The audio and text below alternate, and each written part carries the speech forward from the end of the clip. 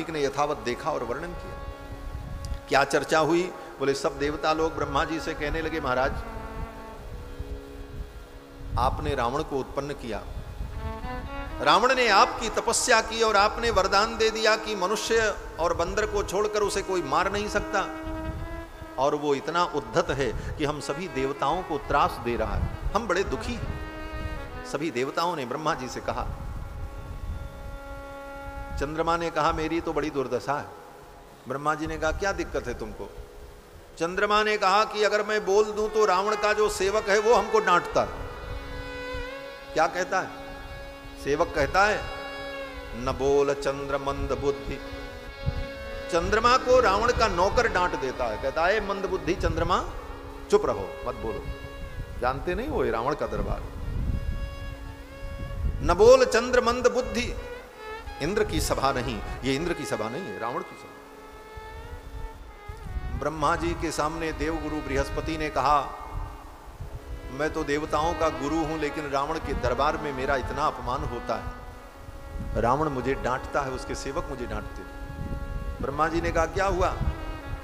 बृहस्पति ने कहा कि रावण के सेवक मुझे डांट देते हैं, कहते हैं कि स्वल्पम जल्प बृहस्पति जड़मते। अय जड़मती बृहस्पति चुप रहो, ज़्यादा मत बोलो।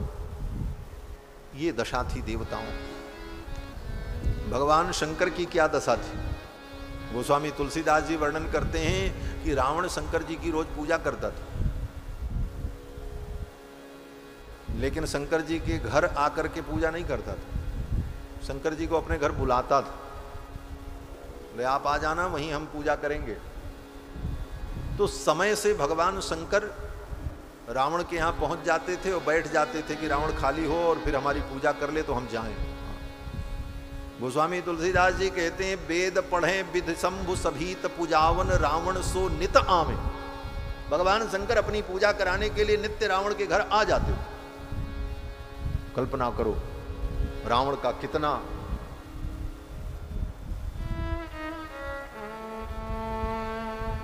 प्रभाव था उस समय। सारे देवता रावण के आतंक से त्रस्त थे और सब ब्रह्मा जी को कह रहे थे, आपके कारण सब हुआ। पर ये सारी बातें कहाँ हो रही हैं? दशरथ जी के पुत्र कामेष्टि यज्ञ में। सब देवता ब्रह्मा जी से कहते हैं, आपके कारण ही सब ये सब अनर्थ हुआ, आप न उसे वरदान देते, न वो इतना उद्धत होता। अब ब्रह्मा जी किसको जवाब दें? कभी कुबेर बोल रहे हैं, कभी वरुण बोल रहे हैं, कभी शंकर जी कह रहे हैं, अब ब्रह्मा जी कभी इधर देखें, कभी इधर देखें। किसी के प्रश्न का उत्तर ब्रह्मा जी नहीं दे पा रहे थे, ब्रह्मा जी की इस दशा को देख करके भगवान को दया आ गई। मेरे पुत्र ब्रह्मा को सभी लोग कोस रहे हैं, ब्रह्मा को दोष दे रहे हैं, मुझे चलना चाहिए। और उसी समय भगवान भी उसी यज्ञ मंडप में उन देवताओं के मध्य में प्रकट हो गए। ए तस्मिन्नंतरे विष्णुर उपयातो महाद्युति। उसी समय महा तेजस्वी, देदीप्यमान अनंत कोटि ब्रह्मांड नायक भगवान श्री विष्णु शंख चक्र गदा पाणि पीतवासा चतुर्भुज शंख चक्र गदा पद्म धारण किए हुए पीताम्बर बनमाला विभूषित भगवान वैनतेयम समारोह्य अपने गरुण पर बैठ करके भगवान आ गए। ब्रह्मादिक देवताओं ने भगवान को देखा, स्तुति की। और ब्रह्मादिक देवताओं ने कहा, महाराज, बड़े समय से आप आए। अब रावण के आतंक से आप ही हमें मुक्ति दिला सकते हैं। त्वाम नियोक्षा महे विष्णु लोकानाम हित काम्यया लोक की हित कामना के लिए हम आपसे प्रार्थना करते हैं। रावण के आतंक से आप ही हमें मुक्ति दिला सकते सारे देवताओं ने जब प्रार्थना की तो भगवान ने कहा अच्छा कोई बात नहीं। आप लोग निर्भय हो जाओ। भयम त्यजत। भयम त्यजत। आप लोग निर्भय हो जाओ। अब भयभीत मत हो, मैं आ गया हूँ।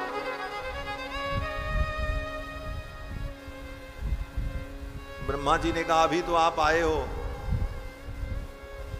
तो आप कह रहे हो, भय का त्याग करो। भय का जो कारण रावण है, वो तो अभी विद्यमान है। तो हम कैसे भय का त्याग कर सकते हैं?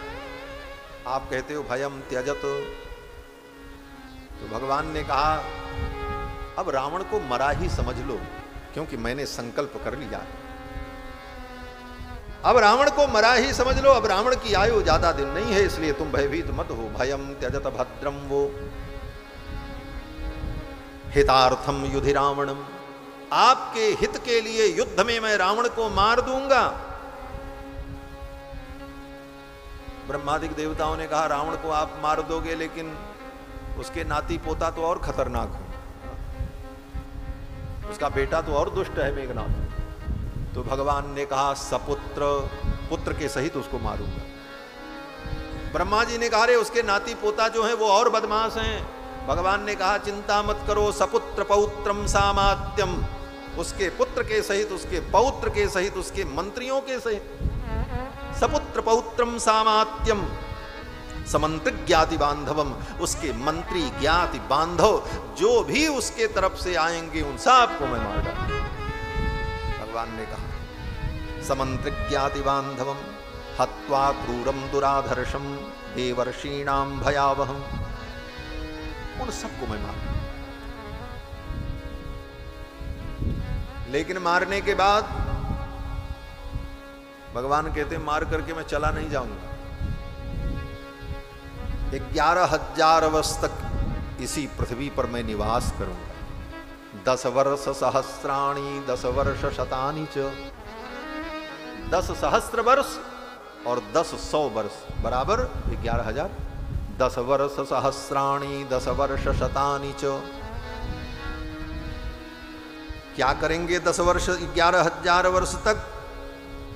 तो भगवान कहते हैं वत्स्यामि मानुषे लोके पालयन पृथ्वीम इमाम। इस मनुष्य लोक में रहकर प्रजा का पालन करते हुए इस पृथ्वी का मैं पालन करूँगा। देवताओं के लिए तो भगवान आए, रावण का वध कर दिया। लेकिन ग्यारह हज़ार वर्ष किसके लिए भगवान रहे? बोले, इस पृथ्वी के लिए। पालयन पृथ्वीम इमाम। इस पृथ्वी से ठाकुर को बड़ा प्रेम। ये कौन है? बोले, ये भूदेवी भगवान की प्रिया है। भूदेवी भगवान की पत्नी है। भगवान की दो पत्नियों का वर्णन है वेद में। श्रीदेवी और भूदेवी। स्त्री देवी माने लक्ष्मी और भूदेवी माने भगवती भूदेवी। इसी को श्री सूक्त में नारायणानुवाक में कहते हैं श्रीश्चते लक्ष्मीश्च पत्न्यौ अहोरात्रे पार्श्वे नक्षत्राणी रूपमस्विनौ। भगवान की दो पत्नियाँ हैं श्रीदेवी और भूदेवी। और कृष्णावतार में तो दोनों प्रकट रूप में हैं। रुक्मिणी और सत्यभामा। रुक्मिणी श्री जी हैं और सत्यभामा भूदेवी का अवतार है। रुक्मिणी सत्यभामाभ्याम सहितम कृष्णमाश्रय। और रामावतार में बोले, रामावतार में तो श्री जी सीता के रूप में और भूदेवी बोले, भूदेवी पृथ्वी के रूप में। इसीलिए भगवान भूदेवी का पालन करने के लिए ग्यारह हज़ार वर्ष तक इस धरामंडल पर प्रकट रूप में विराजमान रहते हैं। और आगे उत्तरकांड में वर्णन। है भगवान जब निज धाम गमन करने लगे, सरयू जी के तट पर जाकर भगवान संपूर्ण प्रजा के सहित सरयू में जब स्नान करते हैं निजधाम गमन के लिए, उस समय भगवान श्री रघुनंदन जब अपने महल से निकल करके सरयू तट की ओर चलते वाल्मीकि रामायण में वर्णन है, भगवान चतुर्भुज हो गए।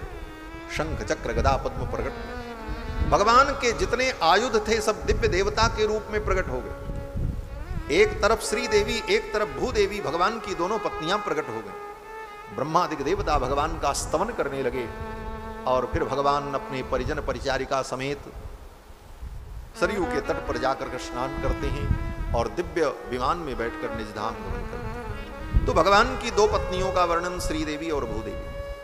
भगवान कहते हैं कि हम ग्यारह हज़ार वर्ष तक रहकर इस पृथ्वी का पालन करेंगे और अब हम प्रकट होने जा रहे हैं। ब्रह्मादिक देवताओं ने कहा, कहाँ प्रकट होंगे? भगवान ने कहा, ये दशरथ जी जो यज्ञ कर रहे हैं ना, इन्हीं के बेटा बनने जा रहे हैं। पितरम रोचयामास तदा दशरथम नृपम राजा दशरथ को मैं अपना पिता बनाने जा रहा हूँ और मैं इनका पुत्र बन करके प्रकट होऊँगा। इतना कह करके भगवान अंतर्धान हो गए। देवताओं के मध्य से। और भगवान कहाँ चले गए? बोले, उसी यज्ञ मंडप में, यज्ञ कुंड के अंदर भगवान प्रविष्ट हो गए। देवताओं के बीच से अंतर्धान हुए और तब तक यज्ञ कुंड से चरु पात्र लेकर हविष्यान्न को